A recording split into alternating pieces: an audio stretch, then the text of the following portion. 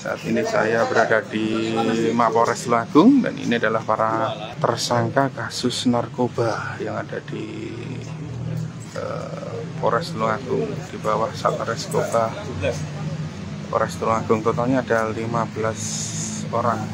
Ini adalah para tersangka kasus narkoba dalam rentang Januari sampai Februari 2023 bahwa pada saat hari ini kami dari Satres Narkoba Polres Tulungagung akan melaksanakan press release terkait dengan ungkap kasus selama dua bulan, yaitu bulan Januari hingga bulan Februari tahun 2023.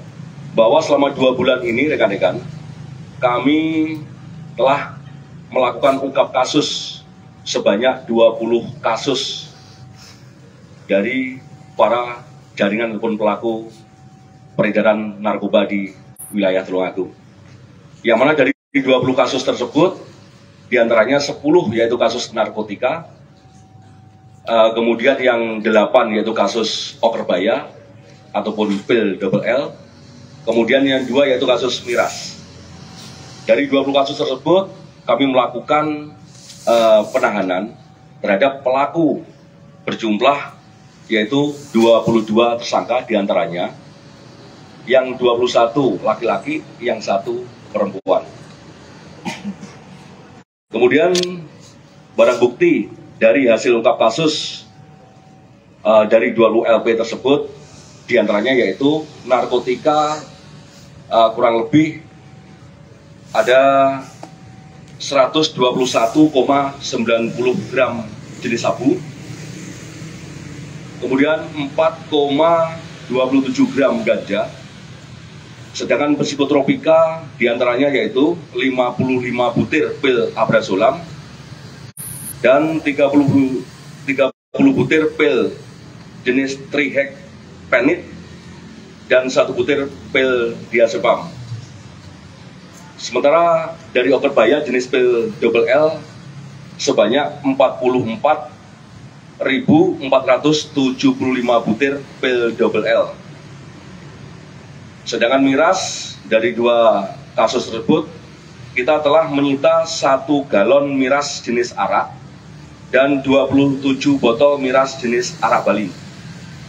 Sedangkan untuk barang bukti lainnya, jadi seperti biasa yang dilakukan atau yang digunakan oleh para tersangka khususnya narkotika, yaitu 16 buah pipet kaca, satu buah timbangan 20 buah handphone, 9 buah alat hisap yaitu bom, kemudian 3 sepeda motor, dan uang tunai sebesar 1.810.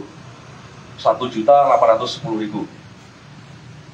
Adapun di antara 22 tersangka, rekan-rekan, di sini yang menjadi residivis yaitu ada tiga tersangka. Uh, sementara TKP dari bulan per bulan didominasi dari para pelaku yang sudah kita ungkap yaitu dari wilayah Gedung Baru. Kemudian yang kedua didominasi oleh dari wilayah Sumber Gempol dan yang ketiga yaitu dari wilayah Kota Tulungagung sendiri.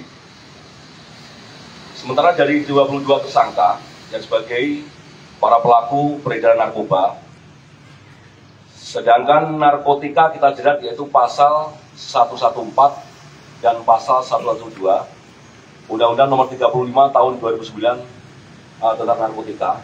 Sementara uh, dari Okerbaya yaitu kita lihat pasal 62 Undang-Undang Nomor 5 Tahun 97 tentang psikotropika dan pasal 197 serta 196 Undang-Undang Nomor 36 Tahun 2009 tentang kesehatan bagi para peredar uh, Okerbaya ataupun BWL.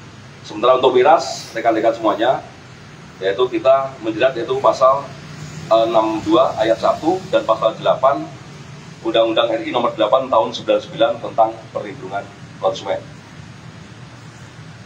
Sementara rekan-rekan, dari pasal per pasal yang kami terapkan kepada para pelaku uh, peredaran narkoba yang telah kami tangkap, itu sebagai ancaman hukuman yaitu pelaku narkotika dengan pasal 114 ataupun 112 ancaman hukuman 114 yaitu hukuman singkat 6 tahun, hukuman maksimal 20, 20 tahun. Sementara 112, hukuman singkat 4 tahun, uh, hukuman maksimal 15 tahun. Sementara untuk psikotropika, yaitu ancaman hukumannya uh, 6 tahun, sedangkan untuk overbaya atau double L, ancaman hukumannya 5 tahun.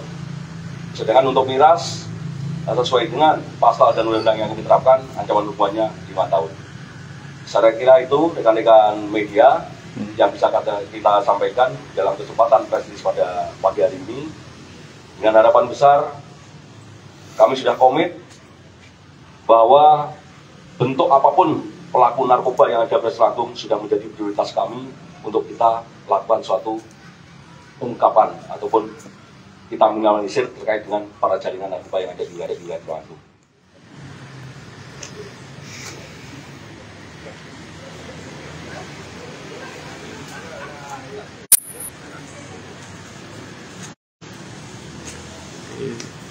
demikian yang bisa saya laporkan dari Polres Tulungagung yang hari ini mengungkap data eh, pengungkapan kasus narkoba selama periode Januari sampai Februari 2023.